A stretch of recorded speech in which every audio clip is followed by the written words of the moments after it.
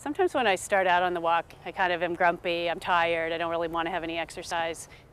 And as soon as I turn around the corner and head up my first staircases and I go through the magic garden, I feel like, oh, thank you, God, thank you for this. I am so lucky to have this. And I just go off into this whole other place.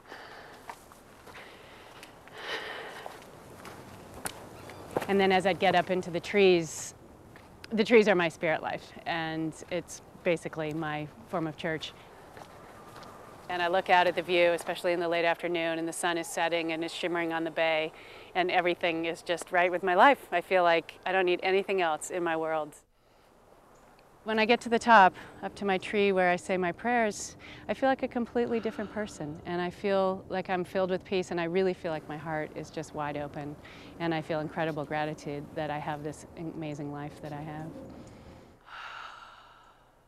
It was 1995 when something about this walk helped me find my work.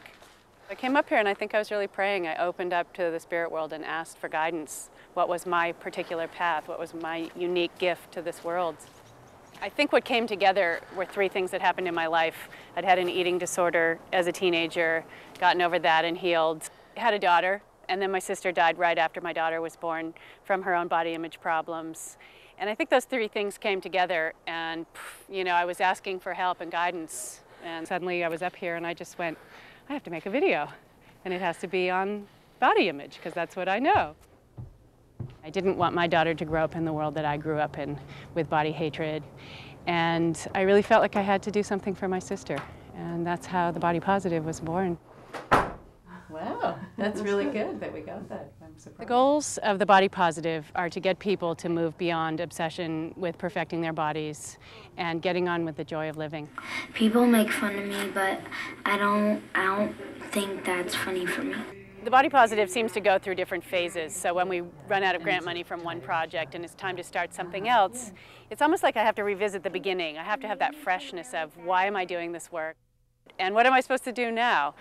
But I really need to come back up here and open back up to my spirit to guide me into the next phase.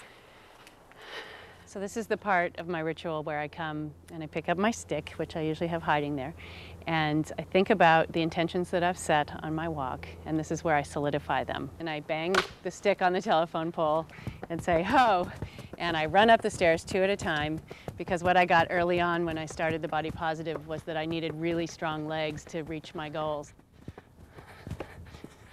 I love to run downhill. And I especially love running down here over all these roots. All I have to do is know exactly where my foot has to land. I don't have to go any farther than where that one foot is. And that's my metaphor for living my life. I just take things one step at a time.